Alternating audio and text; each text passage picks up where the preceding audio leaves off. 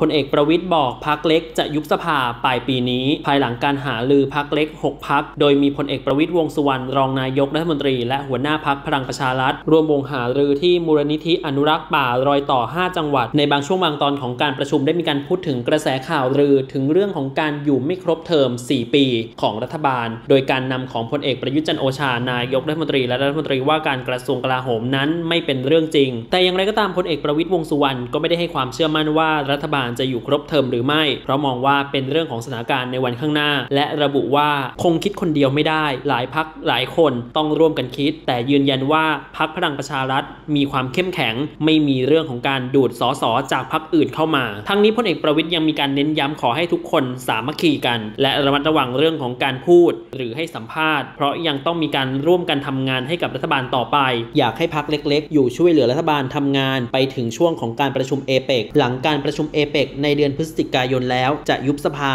แล้วจะมีการเลือกตั้งใหม่ในช่วงปีใหม่ หรือเลยปีใหม่ไปแล้วเล็กน้อย เพื่อเป็นของขวัญปีใหม่ให้กับประชาชน